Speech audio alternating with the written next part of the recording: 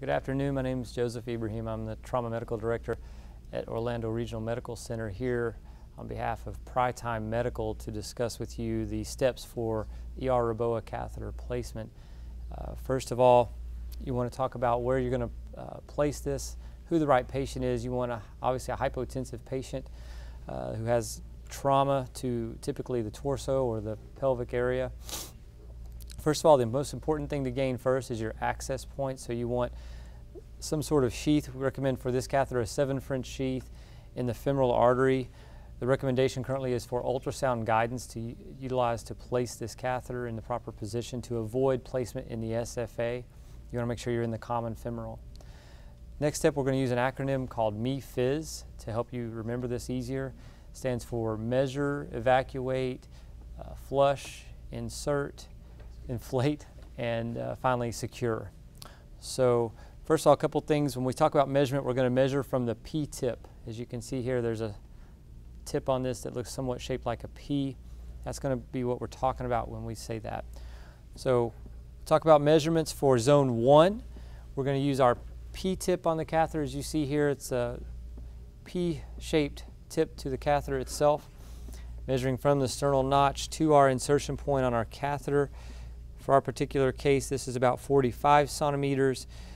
Uh, for zone three, we're going to measure from the xiphoid process with the P-tip catheter to the insertion point, which for our case is about 22 centimeters.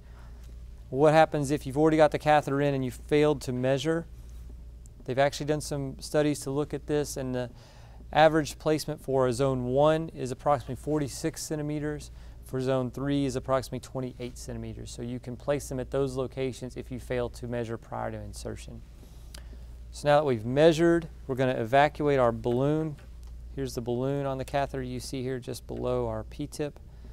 Once I've got it evacuated and completely collapsed, hold that in place. Next I'm going to go to F for flush.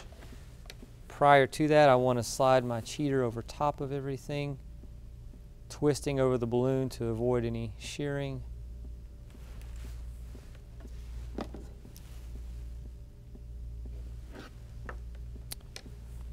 Once we've, we've flushed this with saline, now we're going to use our cheater to carefully insert into our femoral A-line sheath, which is about approximately seven French sheath. Now I'm going to advance the catheter slowly this should go very smoothly. There should be no resistance. Once I have that in place now, I'm advancing this up to my 45 centimeter mark, which you see here. Typically, if you have imaging that you can do at the bedside, this is where I would take my x-ray. You can see the balloon located here in the center of zone 1. Now I'm going to move forward with inflation.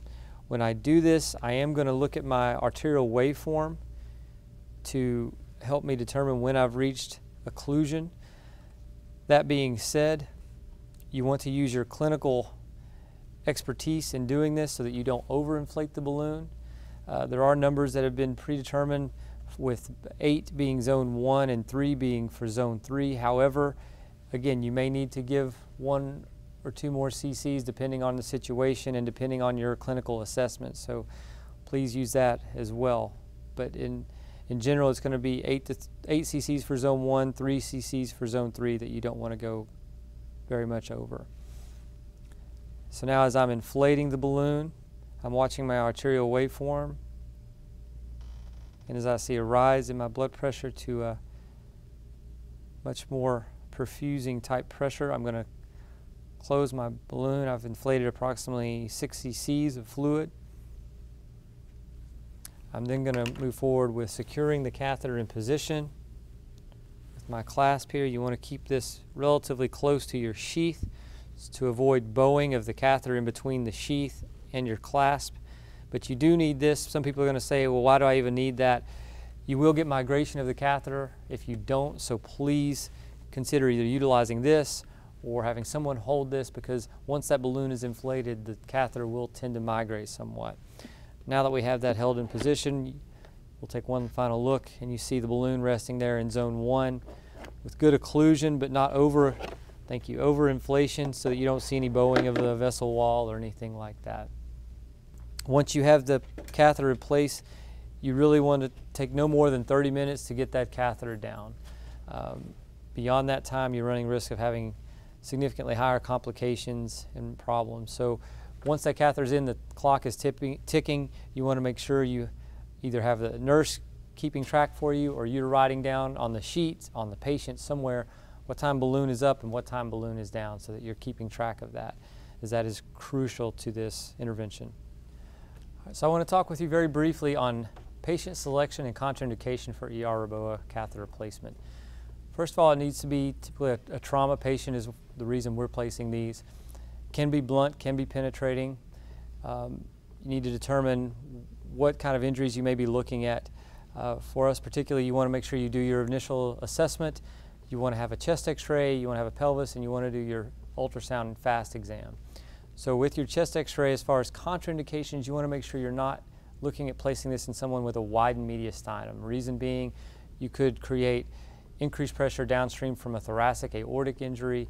If that has uh, developed a clot on top of that, then you could, by increasing the pressure there, you could worsen that or they could lose the clot and thus turn it into a free rupture, which is something we don't want to have. So that would be an absolute contraindication with the widened mediastinum on chest x-ray. Aside from that, if you have somebody who's hypotensive, again, there are different algorithms, protocols you, that are publicly available for you to look at for this. Some say blood pressure less than 100 systolic, a systolic blood pressure less than 100.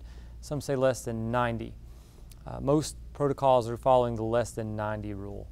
So what you would want to do then is look at your FAST exam. If you have a FAST that's negative and a x-ray that shows a pelvic fracture, you probably want to go for zone 3.